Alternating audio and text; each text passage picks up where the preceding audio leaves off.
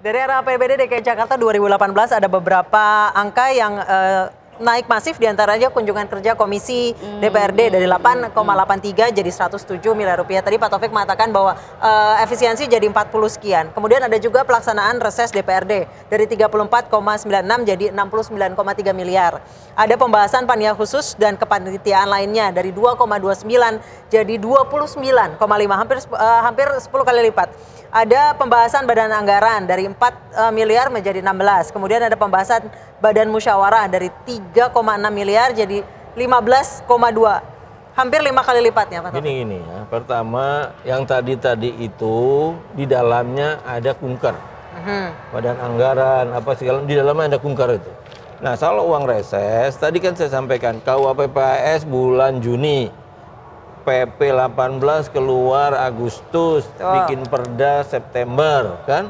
Kemudian di dalam PP 18 disebutkan ada yang namanya operasional reses yang selama ini kita tidak pernah diberikan selama reses. Ada okay. uang operasional reses, maka sudah berapa tahun tidak diberikan uang operasional Dari reses? sejak pertama uang 2012. reses itu nggak pernah ada. Iya nggak pernah ada. Dari sejak dilantik nggak pernah ada. Baru setelah PP ini ada uang operasional reses. Maka dianggarkanlah di situ. Sehingga kelihatan ada menambah iya karena itemnya tambah.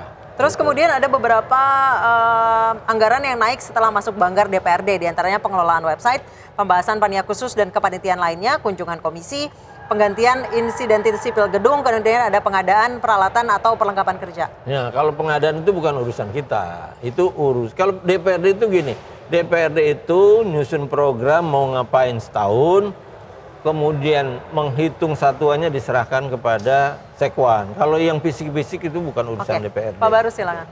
Saya kira gini ya, kembali lagi kepada masalah bahwa ini bukan masalah besarnya berapa. Gitu Tapi loh. besarnya tujuh 7,7 triliun besar loh Pak, besar, besar banget loh. Besar ya? Besar sekali. Tapi dampak ikutan yang didapatkan kalau kan misalnya nggak pernah diukur. Ya memang. Ya, Tapi saat ini jika uh, itu banyaknya dari ada dari eh, sorry dari tidak ada menjadi ada itu ya. pasti besar. Kemudian ada beberapa mata anggaran baru seperti penunjang kehadiran rapat. Kemudian ada pembuatan buku profil anggota dewan sampai 218 juta pak. 218 juta. Mhm. Saya kira untuk pembuatan tidak, buku profil. Iya. Saya kira itu tidak besar untuk 106 anggota dewan loh. Mhm, mhm dan dia boleh simpan satu untuk dia satu tamu yang datang setiap datang dari seluruh Kemudian 500 ada penunjang provinsi. kehadiran rapat DPRD 16,1 miliar. Itu kan terisarat di dalam uh, PP 18. Ya. Gini, jangan salahkan DPRD seluruh Indonesia atas PP 18 yang diterbitkan gitu. Kan itu sudah melalui kajian semua. Okay. Gitu. Kalau dibilang tadi kunker, yang paling penting bagi saya, Pak, Apakah kunker ini kemudian akan menghasilkan sesuatu yang baik bagi masyarakat Jakarta? Jika iya, why not? Kemampuan APBD ada. Yang penting jangan untuk memperkaya diri sendiri atau orang lain dengan jalan yang tidak sah. Kalau yang resmi masih kemudian diperdebatkan, ini memang sesuatu yang menjadi hak juga. Namun tentu kita negara hukum, kita patuh dan taat saja. Hmm. Kalaupun katakanlah satu ketika kita kita akan kritisi Tentu pada penganggaran ini, kenapa mesti sebesar ini? Apakah ada? Tadi kan sudah dikatakan ada koreksi bagus, ya, ya kan? Kami sepakat dengan hal itu. Termasuk kolam yang katanya dicoret ya Pak? Kolam, kolam itu begini, ini ini cerita nih ya. Kolam ini sebelum nggak ada urusan ini, mungkin kemarin itu saya kan tuh lupa coret karena di tahun kemarin ada. Dihapus ya? Jadi ini copy paste segala macam masuk lagi di situ. Okay. Saya yakinkan gini ya, saya yakinkan kami akan kritis terhadap hal-hal yang nggak penting dan selalu yang kami pertanyakan adalah apakah ada manfaatnya untuk masyarakat? Oke, kemudian untuk Jika biaya... tidak, hmm. maka kita akan coba ini rasionalisasi.